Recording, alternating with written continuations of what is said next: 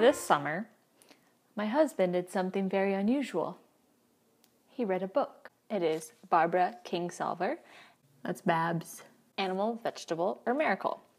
And after he was done reading it, he told me that he wanted us to eat locally for one year. We haven't decided about that yet. After reading it myself, eating locally is better for the environment, it's better for communities. Eating locally can taste better because you're eating in season. Also, when you have to wait to eat your food, if you're like, oh, I really want watermelon, but it's not in season yet, and then you wait for it to come in season rather than travel thousands of miles away, imagine how good that watermelon can taste. After I read the book, I'm not sure that I want to actually do what the Kingsolver family did, but it definitely made me take a more appreciative, loving look at the foods that we have and what I can do with them. What's cool about the Seminole squash here in Central Florida is that it's indigenous and so it's pretty bug resistant. It grows like a boss. The flavor, I would say, is sweeter than butternut squash. In fact, sometimes it can almost be a little too sweet, but that can also be great because you can harness that sweetness into something like um, a squash pie. All right, so we have a crap ton of squash, and I don't want to get tired of it. How can I get on this eating local train? First of all, you gotta pick which squash you're gonna eat.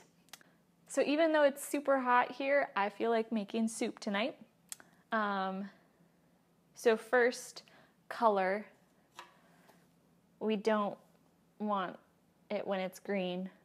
This is a nice medium size for us.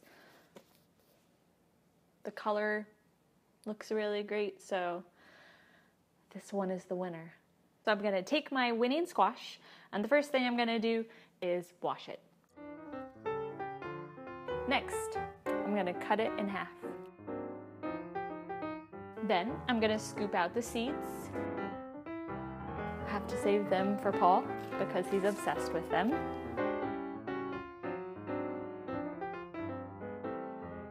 Next, you want to cut up the squash. The smaller uh, the pieces are, the faster it's going to cook.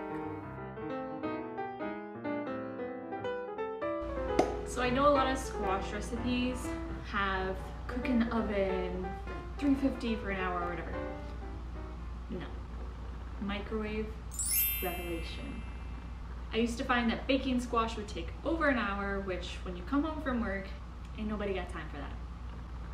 So then I found out you could microwave squash. Microwaving squash takes like less than 15 minutes.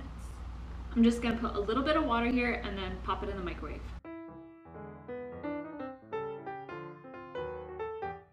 Now I'm just gonna pierce it with a fork. I'm gonna pop it in for another six minutes. So while my squash is finishing, I'm gonna gather up any vegetables that I wanna use up in the fridge. I'm gonna cook them on the stove and basically I'm just gonna blend everything together. I got onion, celery, pepper, zucchini, carrots. And then my favorite toy in the kitchen, you just puree the heck out of it. For you, my love. Thank you. Thanks, Babs.